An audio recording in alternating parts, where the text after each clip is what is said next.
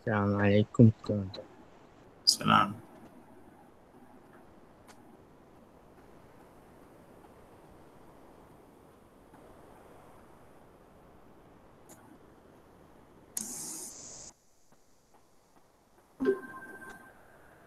أوكي.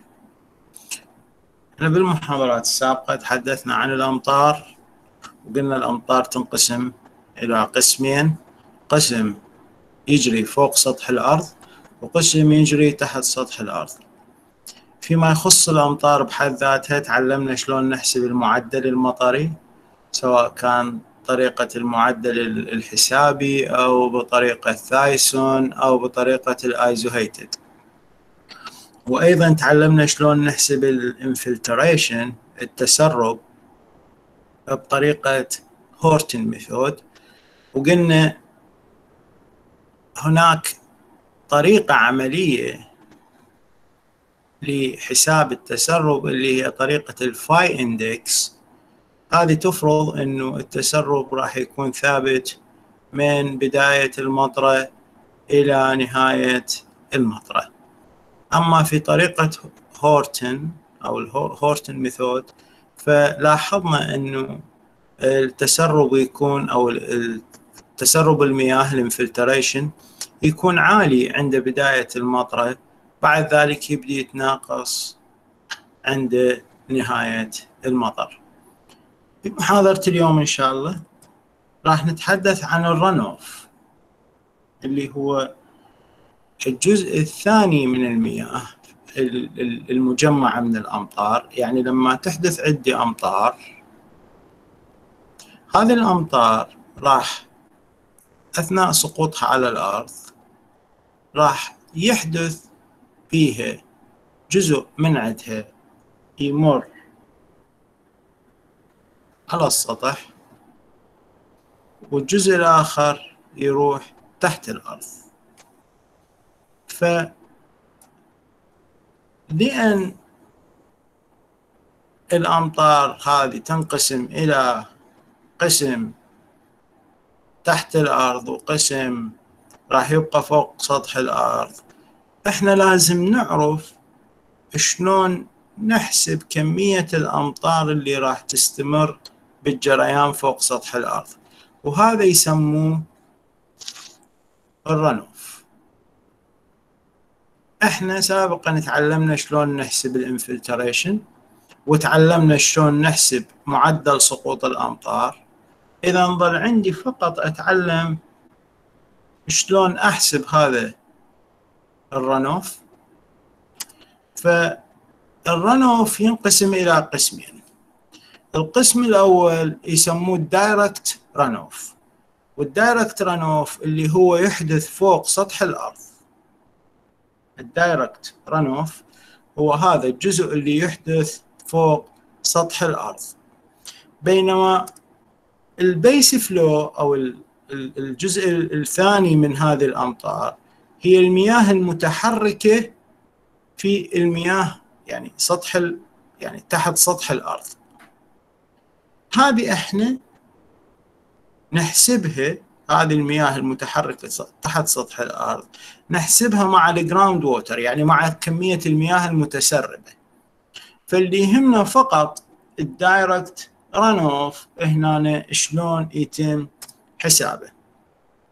ال direct runoff قلنا هو يعني المياه اللي راح تكون جارية على سطح الأرض بعد سقوط الأمطار.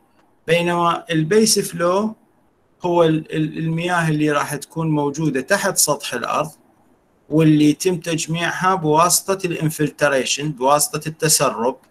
بعد ذلك هذه المياه تبدي تتحرك المياه الجوفية تبدي تتحرك من المناطق المرتفعة إلى المناطق الواطئة من ناحية المنسوب. هذا الموضوع مرتبط بشيء اسمه ال hydrograph. وال hydrograph إذا نلاحظ هو عبارة عن علاقة بين التصريف والزمن. علاقة بين التصريف والزمن. شوف لما هذه المياه تجري على سطح الأرض راح تجري بتصريف معين. في موعد آخر من المطر قادم آخر نشوف حثت بهذا التصريف بعد ذلك بتصريف آخر. وهكذا.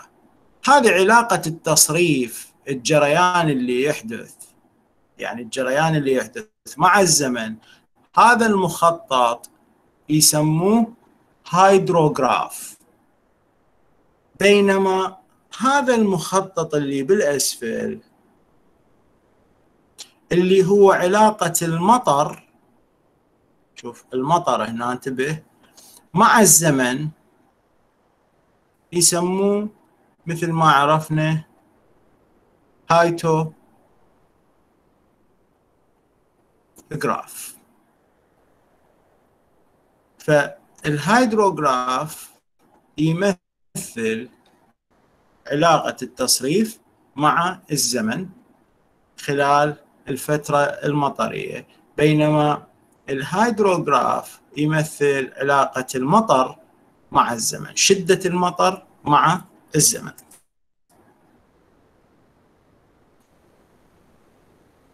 طبعا كثير من العوامل كثير من العوامل تأثر على ال runoff هذه العوامل منها تخص ال basin characteristic يعني شنو؟ يعني المنطقة اللي يساقط بها المطر سواء كان حجمها الميل المنسوب. المنطقة هي ال ال ال شكلها بصورة عامة. هذه تخص البيسن. بينما أكو عوامل مرتبطة أيضا بالتسرب. كأن تكون يعني المطر يفرق من يسقط في منطقة.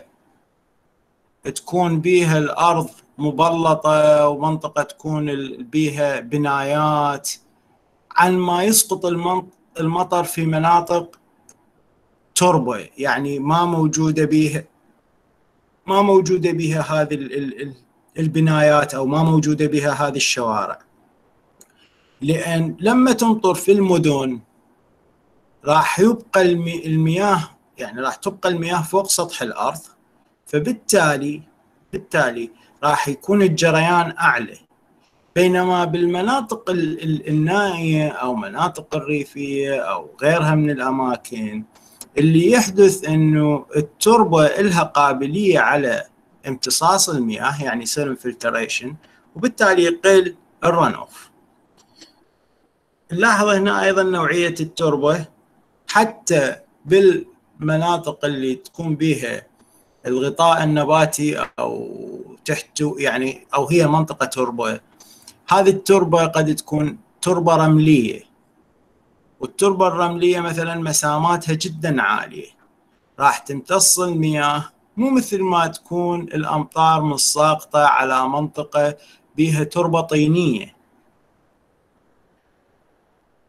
من ناحية وجود بحيرات أو وجود أنهار هذه أيضا تأثر على كمية الرنوف.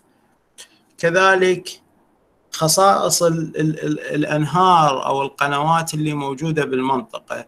هذه كلها عوامل تأثر على الرنوف هذا فيما يخص جانب ال physiographic اللي هو يعني الخصائص الفيزيائية اللي تأثر أو العوامل الفيزيائية اللي تأثر على ال runoff climatic اللي هي العوامل اللي مرتبطة بالجو. شدة المطره نفسها آه، طول المطر كمية المطر. هذه هذه مرتبطة بالجو. كل ما تزداد شدة المطر كل ما يزداد مدة المطر ال duration مالتها هذه راح تزيد كمية ال runoff كمية التبخر اللي يحدث بعد يعني أثناء المطر وكذلك ال initial loss يعني التسرب الابتدائي اللي يحصل عندي إيش قد يأثر على كمية ال runoff فهذه هي العوامل المؤثرة على قيمة ال runoff طيب شلون نحسب ال runoff يعني شلون يتم حساب ال runoff طبعا ال runoff أو الجريان السطحي يتم حسابه as volume يعني حجم. هسه هنا نحكي حجم يعني مو تصريف. راح نحكي شلون نحسب ال runoff as volume هذه طريقة ال Soil Conservation Service اللي هي طريقة معتمدة تعتمد على parameter واحد اللي هو اسمه ال curve number ال CN وهذا ال curve number يأثر على كمية ال runoff اللي يحدث. ال curve number أو ال SCS curve number method هاي الطريقة. تعتمد إنه كمية المياه المتساقطة راح تكون إما كمية المياه المتساقطة. راح تكون إما متسربة أو جارية فوق سطح الأرض. فبهيج حالة بهيج حالة كمية التصريف اللي يحسب من هذه المعادلة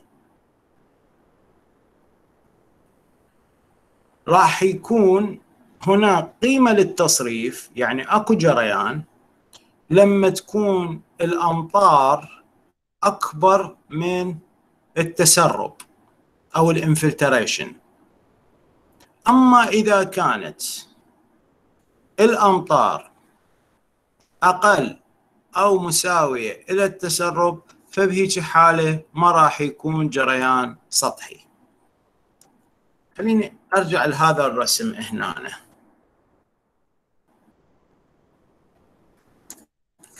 إحنا عندنا هذه المنطقة اللي بالأسفل اللي هذا أسفل هذا الخط. هذه هي كمية التسرب ال infiltration اللي يحدث بالتربة. وعندنا هذه الخطوط المسننة هذه ال hyetograph هذا يمثل شدة المطر بي أستاذ هذه الخطوط تمثل شدة المطر؟ لا لا هذه مثلا هنا عندنا شدة مطر. هنا عندنا شدة مطر تختلف. تمام. هنا هذه شدة مطر لاحظ؟ هذا ال hyetograph هذا ال hyetograph نلاحظ من الساعة صفر إلى الساعة اثنين كان كمية الأمطار المتساقطة هذه أقل من قيمة ال infiltration. فبهيج حالة كل المياه راح تتسرب تحت الأرض. فما راح يصير جريان سطحي. يعني ما راح يبقى ماء فوق الأرض. ليش؟ لأن التربة تمتصها كلها. بينما هنا شوف كمية الأمطار أو ال intensity ارتفعت. فجزء منها راح تحت الأرض. وبقى هذا الجزء فوق الأرض يعني فصار بي رنوف نفس الكلام للساعة اللي بعدها. وهنا أيضا. هذه المنطقة. هنا. بينما هنا نلاحظ أنه الأمطار بدأت تقيل فالأمطار كل الأمطار اللي ساقطت راحت تسربت تحت الأرض وما بقى عندنا جريان سطحي. هذا هو تفسير لهذه المعادلة. اللي إنه يكون جريان سطحي عندنا جريان سطحي نحسبه من هاي المعادلة. إذا كانت كمية الأمطار أكبر من ال infiltration. وكمية الجريان السطحي راح يكون صفر إذا كانت الأمطار أقل. واضحة؟ واضح دكتور. زين هسه ال curve number هذا ال curve number شلون نحسبه أو شنو هو هذا ال curve number هذا ال curve number رقم يمثل الامكانيه للتربة للاحتفاظ أو تسر يعني تسريب المياه. ويعتمد على طبيعة المنطقة وكذلك حالة الرطوبة في التربة. يتم حساب ال curve number أو العلاقة بين هذا المقدار S إحنا اللي سميناه مع ال curve number يتم حسابه حسب هذه العلاقة. هذه بوحدات ال SI unit يعني بوحدات ال metric.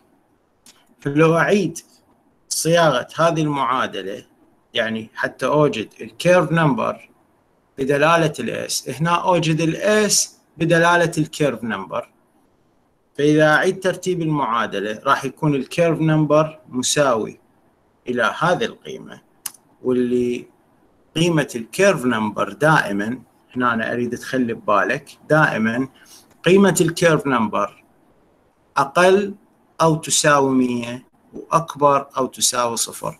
يعني ال curve number يكون محصور بين الصفر والمية. أوكي؟ زين. هذا الرقم وهذا الرقم. وش يمثل خلينا نفهمها. الرقم ال curve number هذا ال curve number كل ما يكبر كل ما يزداد الرقم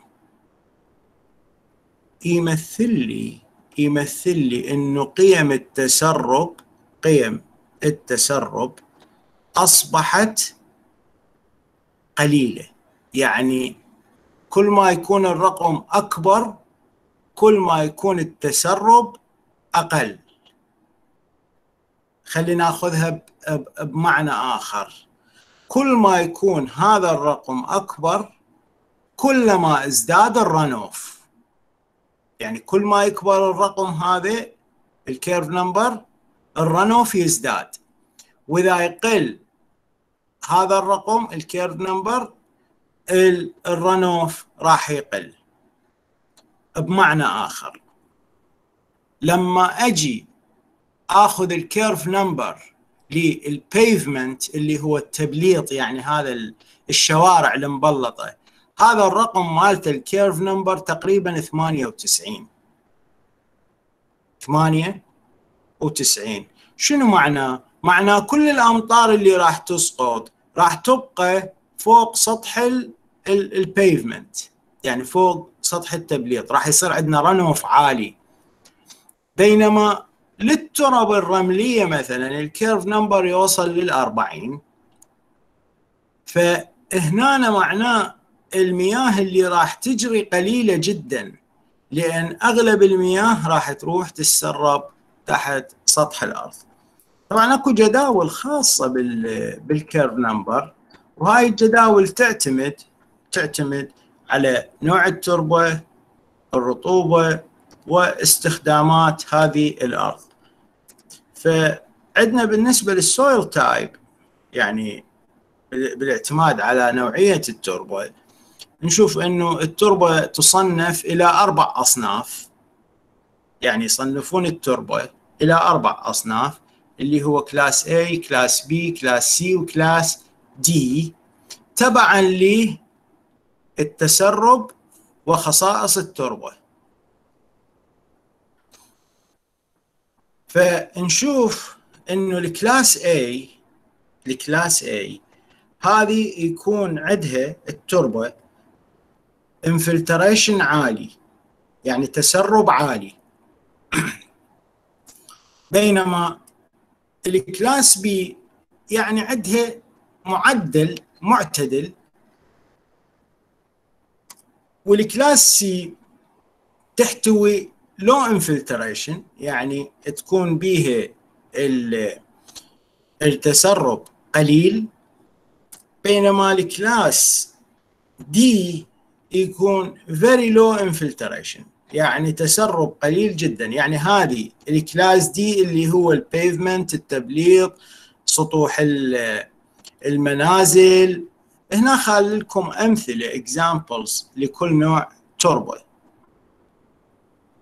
examples لكل نوع تربة. فهذا تصنيف التراب يعني إحنا مجرد هذا تصنيف حتى نعرف شنو الفرق بين ال class A وال class D. بصورة عامة من ال class A إلى ال class D هنا هاي infiltration.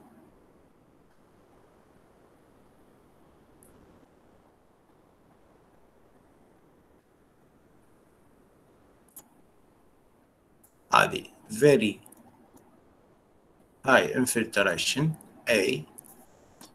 D, very low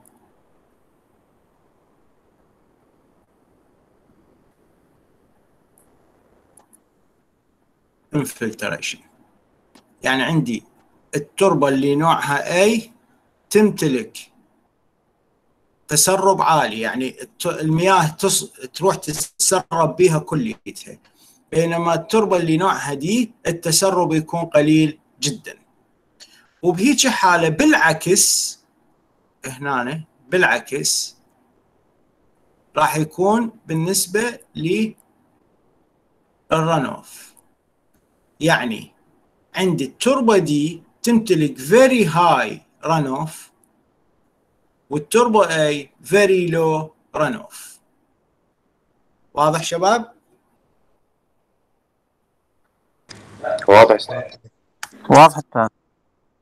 من ناحية الرطوبة المحتوى الرطوبي للتربة القيم اللي تعتمد أو خلينا نقول شلون يصنفوها؟ هم يصنفوها إلى ثلاث ثلاث أقسام أو ثلاث أنواع حسبا يعني بالاعتماد إلى المحتوى الرطوبي.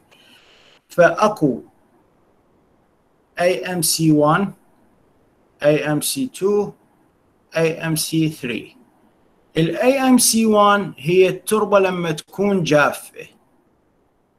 هذه. تربة تكون جافة جدا. ال AMC3 هي لما يكون عندنا التربة مشبعة لدرجة إنه حصل أمطار عليها لمدة خمس أيام فكانت مشبعة جدا. يعني التربة مشبعة جدا.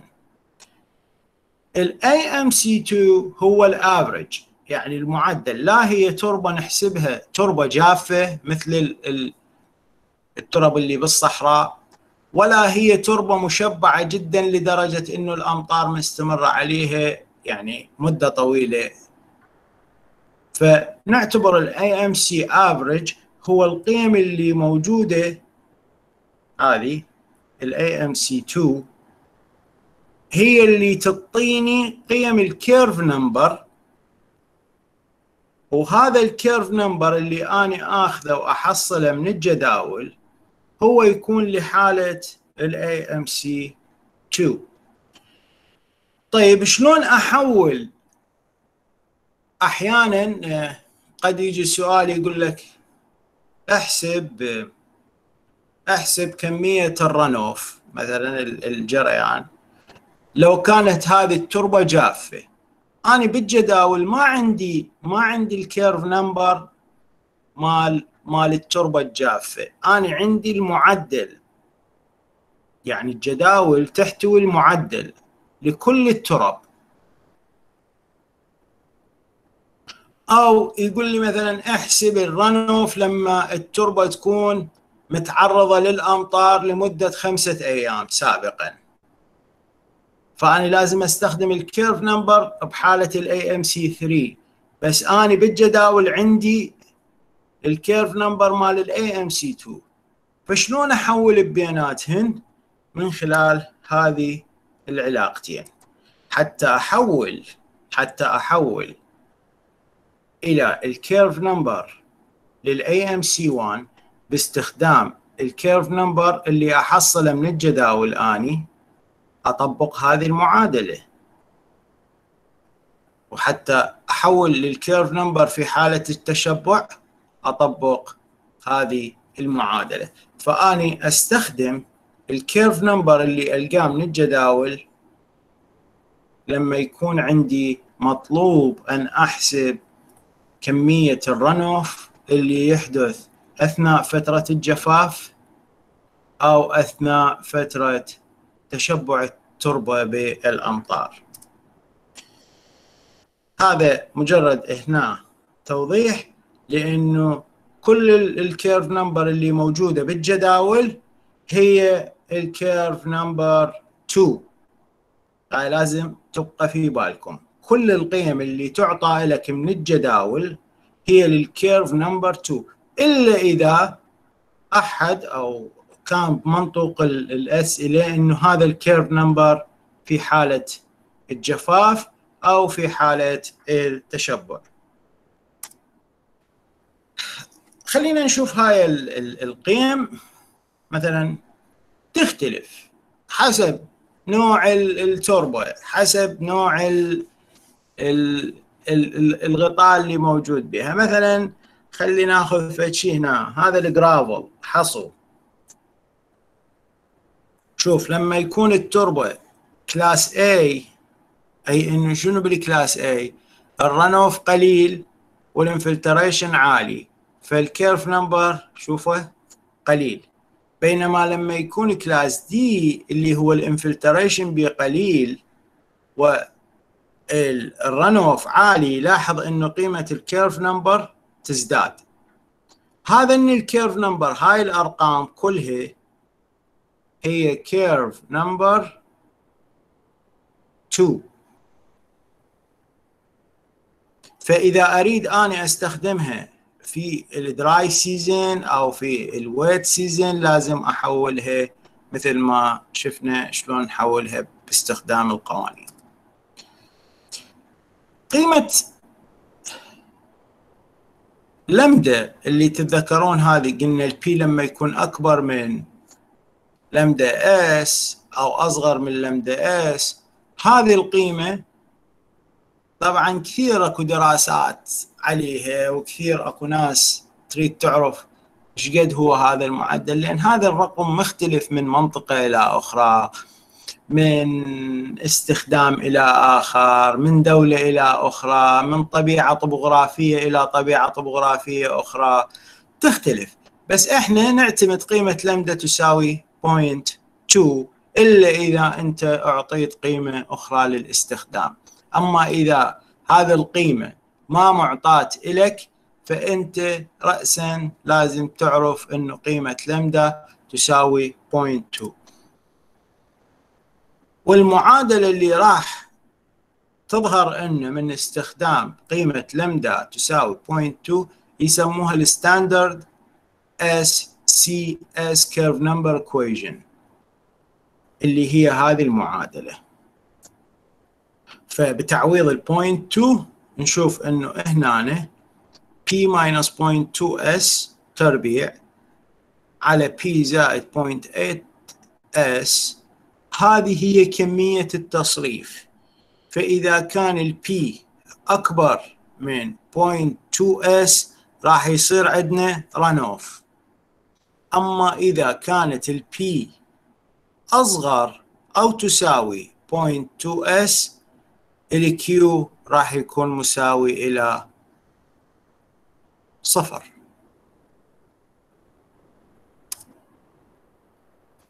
خلينا ناخذ مثال. خلينا ناخذ مثال. هذا المثال مطلوب عندنا مساحة منطقة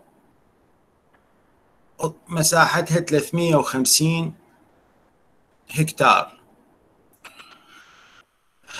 ال curve number ال curve number هنا شوف 70 في حالة شنو؟ ال AMC 3 المطلوب المطلوب أحسب قيمة ال direct runoff بعد أربعة أيام من المطر. وهنا use ال standard ال CN equation يعني اللي يكون بها ال lambda point 2 المفروض. What would be the runoff volume if هذا ال curve number صار 80 يعني أول شيء خلينا نحسبه. لما ال curve number 70 وبعدين بالمطلب الثاني نشوف إيش قد راح يصير ال runoff volume إذا كان إذا كان هذا ال curve number 80 هنا ال idea الفكرة إنه نريد نشوف تأثير ال runoff ازداد أو نقص على كمية الأمطار بالمطلب B. فبداية إحنا اللي معطى إنه شنو؟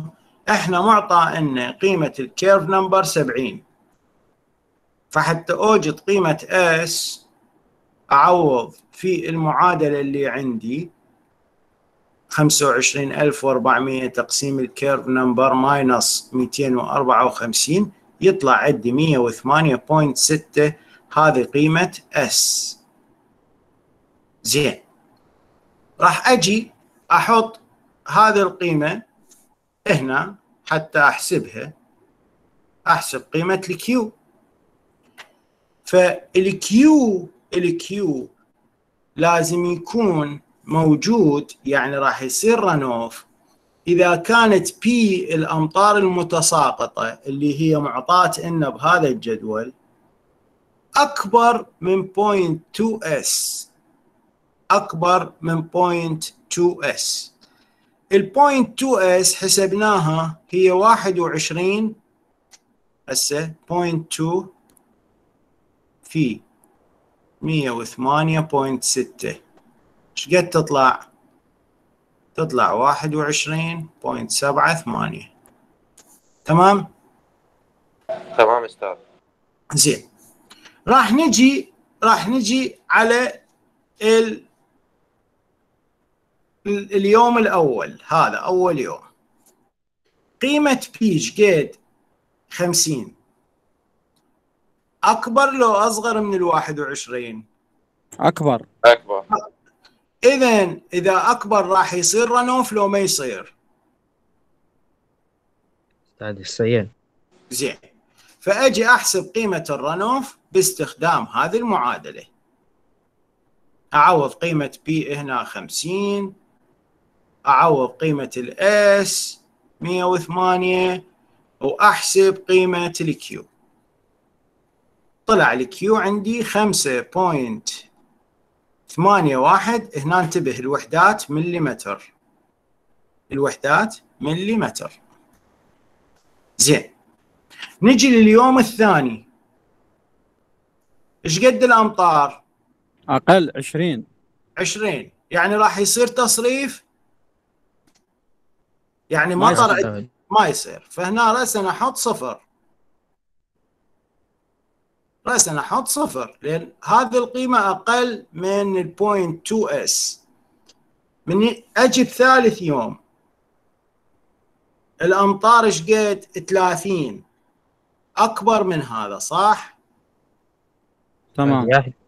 فأرجع احسبه من المعادلة أعوض هنا بدل ال P 30 0.2 S هنا أيضا أحط 30 أطلع قيمة ال Q هذه طلعنا قيمة ال Q هنا هنا 18 أقل أحط صفر. طيب هسه ال ال ال ال الأمطار كأنما هسه لو أنا أجي هذه هذه المنطقة المساحة. قبل ما أروح للنقطة الثانية واضح إيش سويت بهذا الجدول؟ شباب. أستاذ واضح. واضح جيد. هسه آني جمعت هذه الجريان اللي حدث بأول يوم وثاني يوم وثالث يوم ورابع يوم هذا هو المجموع الكلي لعمق الجريان اللي راح يحدث على هذه الأرض. فمعناه إنه هذه الأرض كلها هذه صار بيها جريان عمقه كأنما هيك إذا أريد أرسم. صار عندي عمق جريان. هذا العمق مقداره ستة point ثلاثة تسعة. زين شلون أحسب الحجم؟ الحجم هو المساحة الأريا. على عمق. في العمق. المساحة في العمق. فهنا عندي أنا المساحة 350 هكتار. حولتها إلى متر مربع. وحولت هذه المليمتر إلى متر. طلع عندي قيمة الرنوف الحجم اللي مال حجم الأمطار كمية الأمطار. يعني لو عندي خزان على كبر هذه الأرض سقطت به الأمطار وجمعتها فأني جمعت 22365 متر مكعب. يعني 22365 خزان مال مي من ذني المربعات المكعبات اللي تنحطم فوق البيوت. لأن كل واحد من ذني هو واحد متر مكعب. هذا لما ال curve number يساوي سبعين. زين. بالحالة دكتور؟ نعم. دكتور أنا كله فهمته بس انقطع الاتصال على بالبداية. ال خم- خمسة وعشرين ألف خمسة وعشرين ألف وأربعمية تقسيم سبعين. حتى نطلع ال S زين. إيش بيها هاي عايشة دكتور ما مفتهمت هذا الرقم من وين جبناه ال S موجودة بالسؤال. okay بس هاي الرقم. لحظة لحظة. ال S أصلا ما موجودة. مين موجودة ال S لا مو ال S هي حتى نطلع ال S السبعين افتهمتها يعني منطينا الهاي ال curve number. بس إيه. إيه. بس ارجعي. ال- هاي الرقم الخ- أرجع لل slide اللي قبل هذا بمرتين. عادي أرجع وياك شوفي. هسه حراويك اياها هاي من ال S.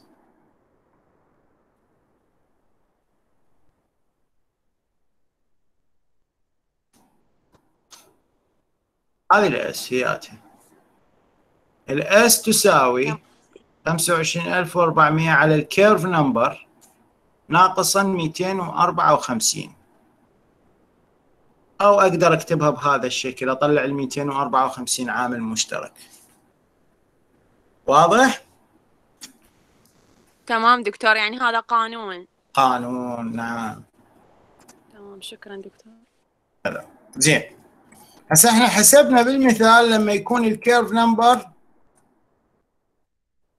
70 صح؟ بالمطلب الثاني بالمطلب الثاني ال ال ال curve number ازداد صار 80 خليني خليني أذكركم بهاي.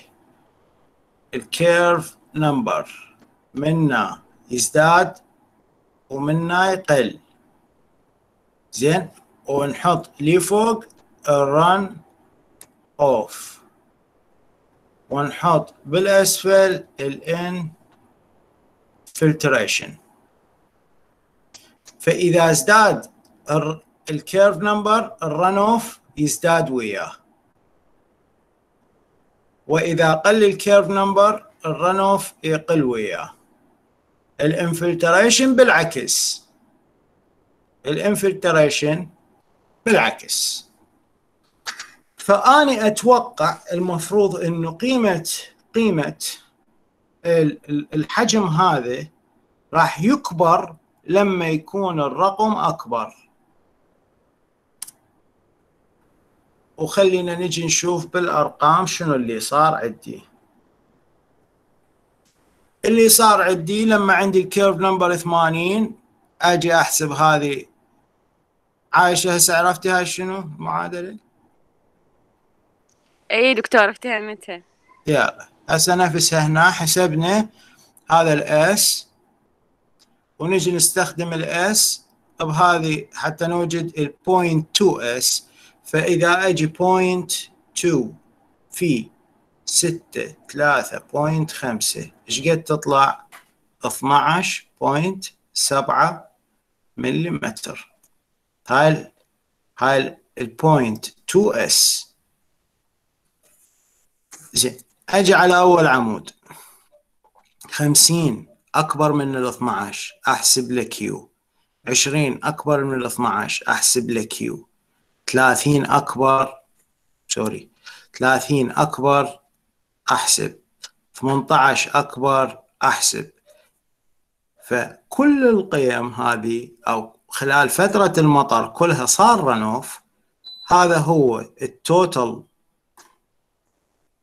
depth of the يعني مو هاي عد المساحة اني ال ال depth هنا هذا ال depth العمق شقد 18.6 ستة. بينما سابقا لما ال curve number 70 6.39 فالحجم حجم المياه المتساقطة أو الجارية على سطح الأرض حجم المياه الجارية على سطح الأرض هو قيمته هذا المقدار. واضح المثال شباب؟ شاء الله واضح أستاذ. واضح. خلينا نشوف هذا المثال الثاني. هذه مدينة بالهند. مساحة المنطقة 250 هكتار. تمتلك group C soil يعني نوعية التربة بها group C والمنطقة المنطقة مقسمة إلى قسمين. هذه المنطقة. 30% من المنطقة هي غابات. فورست و70% من المنطقة هي تربة طينية. افرض إنه ال AMC عند ال average condition يعني شنو؟ AMC 2 راح نستخدمه هنا زين؟ ف estimate the direct runoff volume. إذا كان سقوط الأمطار 75 ملم يعني ال P 75 ملم هذا الرينفول بيوم واحد صار عندنا سقوط أمطار مقداره 75 ملي متر. اللمدة هنا تساوي 0.1 هاي طبعا هنا بالهند يستخدمون إنه قيمة اللمدة 0.1 حسب طبيعة التربة اللي عندهم فوجدوا انه قيمة لمدة هي تساوي 0.1 من الجداول أول شيء نسويه نوجد قيم ال curve number فإحنا شفنا انه ال curve number قيمته 60 لما تكون عندي المساحة open forest وقيمته 86 لما تكون المساحة أو الأرضية pasture أو تربة مثل الطينية تكون طيب هذه المنطقة مثل ما قلنا هنا ال curve number ثمانية ستة هنا ال curve number ستين فالمعدل مال ال curve number شلون أقدر أوجده؟ أوجد المعدل من خلال أقول ثلاثين في ستين زائد ثمانية ستة وثمانين في سبعين الكل على مية. هذا راح يعطيني ال curve number average يعني مو average هو هو اللي يمثل هاي الأرضية يعني بالكامل. فلاحظ أنه قيمة هذا الرقم هو يعني 30 في 60 واحد ثمانية صفر صفر زائد سبعة في ستة.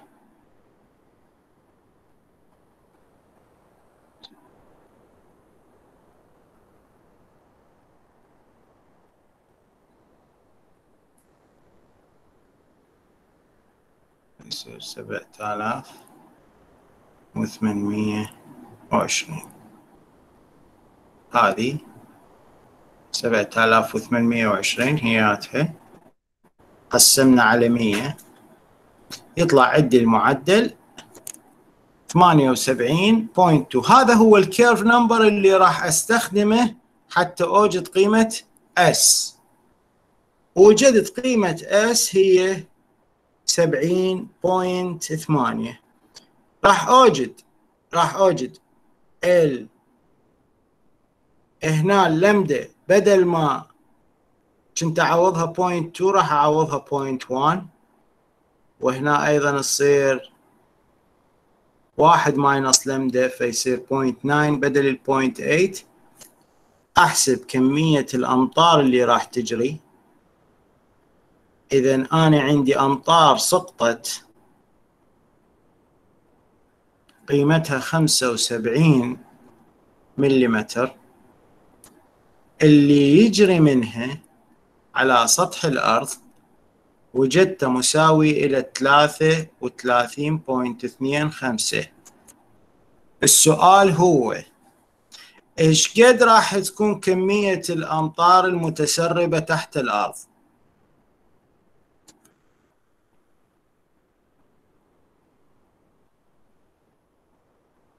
أحد يقدر يقول لي؟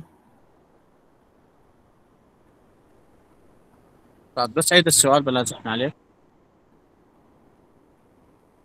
عندي أمطار متساقطة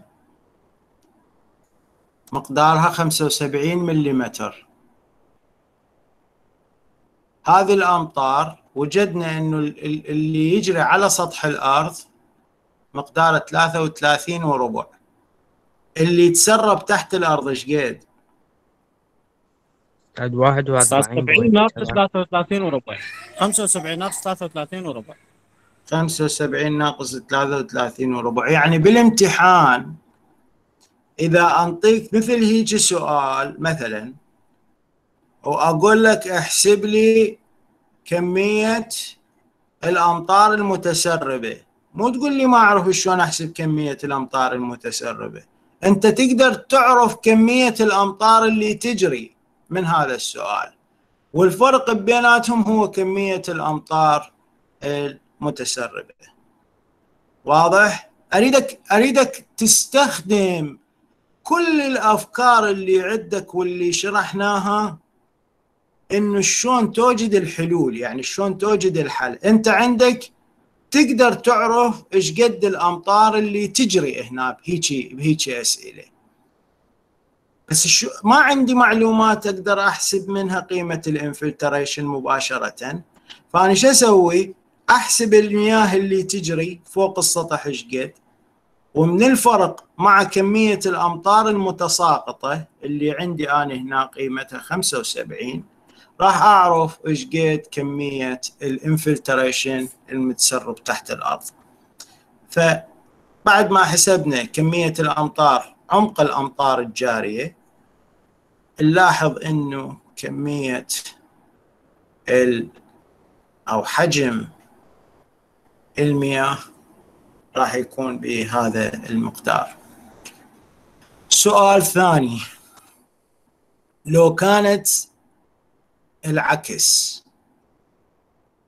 يعني لو كان هاي المنطقة هي 86% وهاي المنطقة هي 60%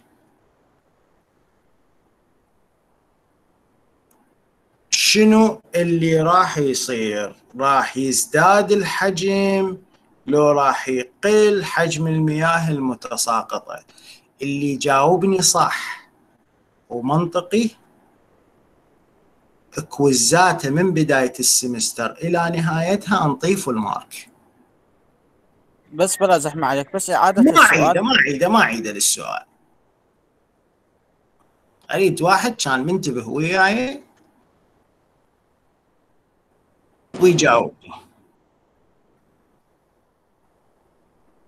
كويزاته من بداية ال semester إلى نهايتها full mark ماكو. أوكي.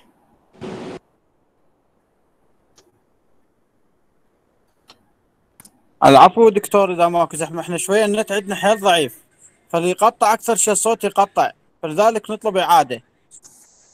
لا أكثر. جزاك الله خير الجزاء. ال- ال- الفكرة إنه هو السؤال لو ال curve number هسه تسمعوني واضح كلكم؟ هسه أيوة نسمع. واضح واضح.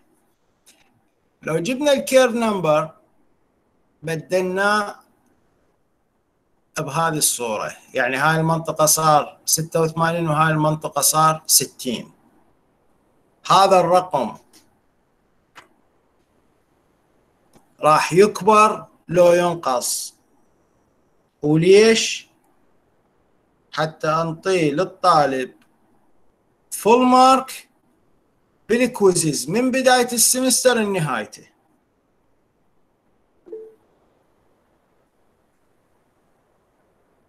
اي نور الدين أستاذ يكبر لأن راح يصير ستة وثمانين أقل أو يساوي أكبر أو يساوي مية وذيك يصير ستين فيصير أكبر يعني هذا الرقم يكبر نعم أستاذ زين بعد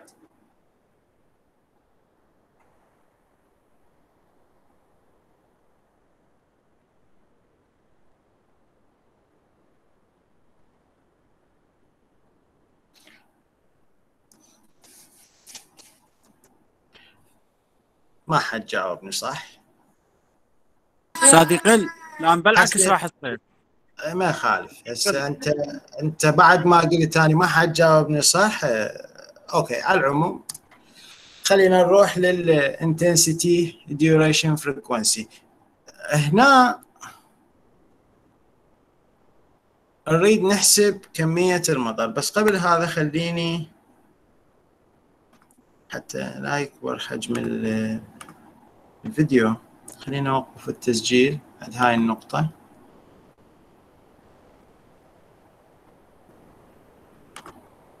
نسجل فيديو ثاني